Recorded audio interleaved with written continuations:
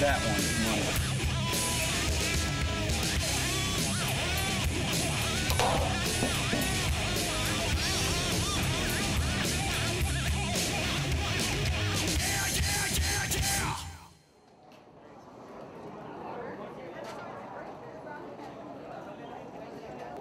We're back in Texas. So we're in Texas. It's round two on the GAR.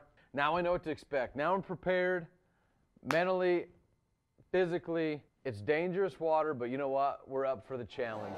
We're back. Water's rising. Dallas got flooded.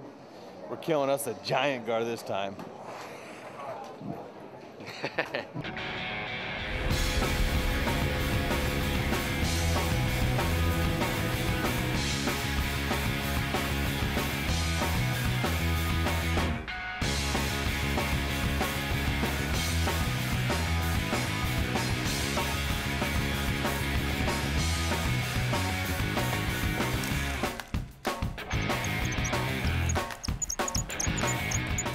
These fish are gonna be back in these backwaters, back in these coves, back in these flooded, you know, three foot deep areas. That's what they like to do. That's what they like to hunt in.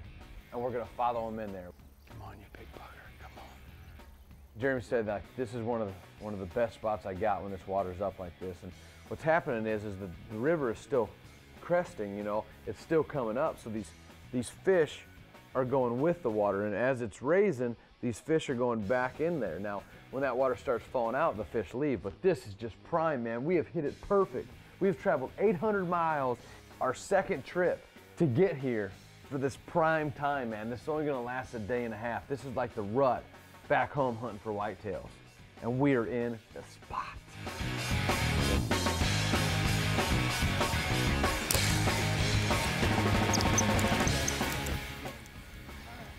That's a huge guy.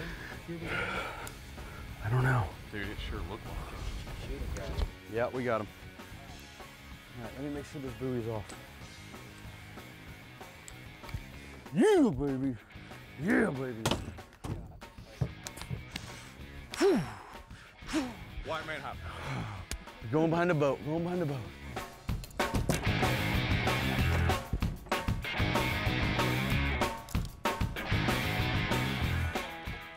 Am just pumping, man. My adrenaline is just rocking.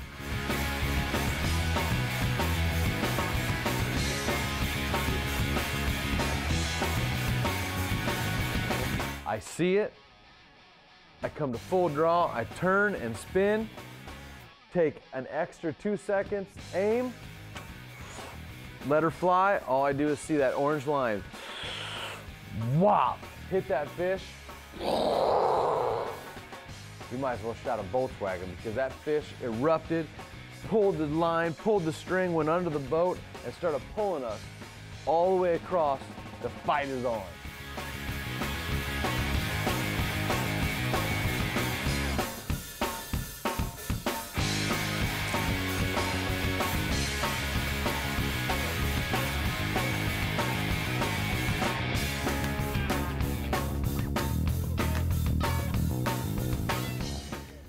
Do anything. I am just tore right up.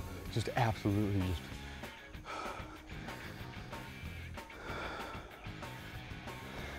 I had nothing I ever shot.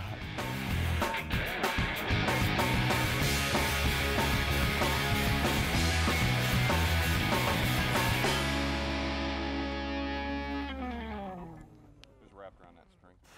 Oh my gosh.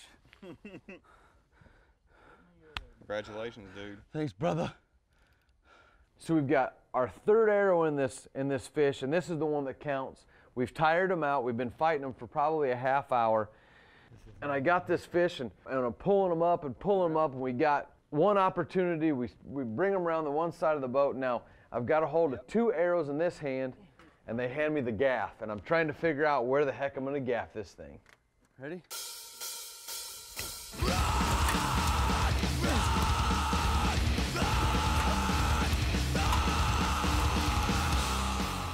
Ain't no silver carp.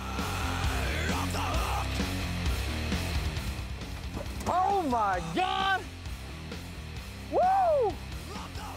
Yeah, baby! Yeah, baby! It's the Daryl fishing, and that is a giant alligator gar in Texas, baby. Woo!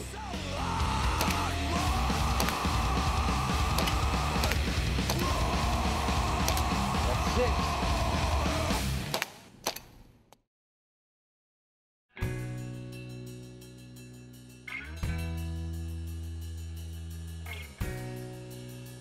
Dude, I feel like Captain Hook on steroids.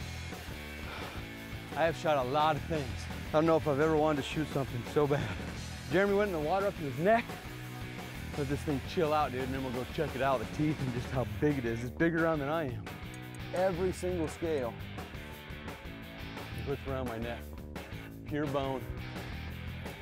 And Jeremy said, you can't shoot him going this way. This fish rolled up completely broadside, whacked it, took off. It took us over 100 yards into this brush. We were able to pull it up, and that is a crazy dinosaur sound right there.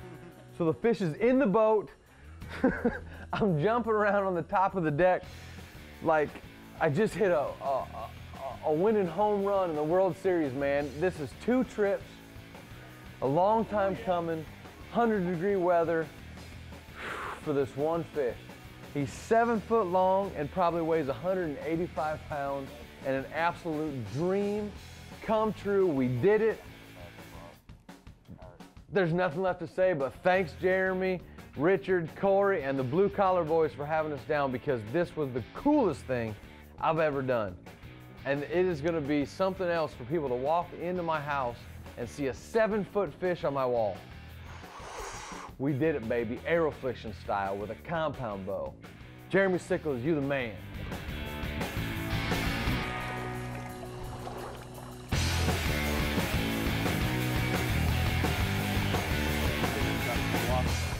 Bo! Anyone? Bo? Whoa. Hurry up, man. Get a big one, hurry up. Hey, this is Arrow Affliction. This week, giant alligator gar. Right here in Texas. Get you some.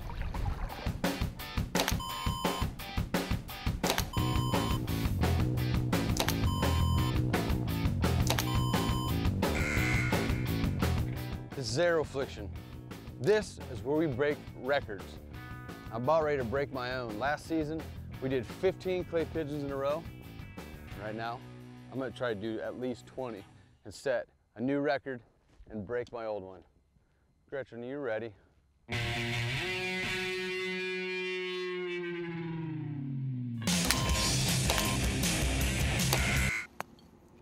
gotta start over.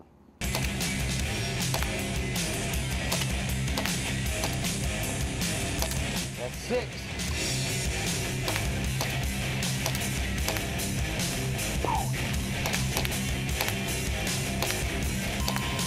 Right through the center, baby.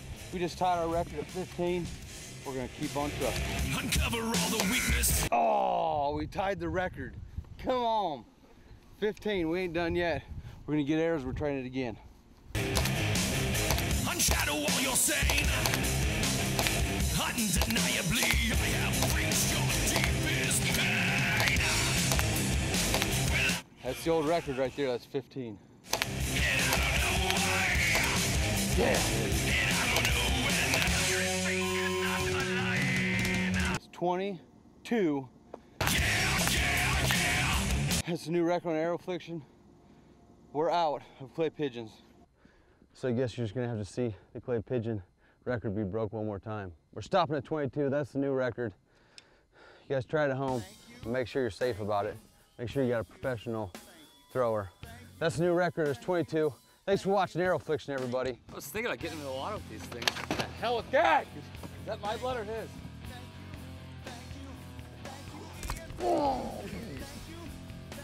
If there's something out there that needs conquering, if there's animals that need protected, we're there. Chris Brackett does not like snakes. So he's I don't like Chris Brackett. Booyah! Big fish in the boat, baby.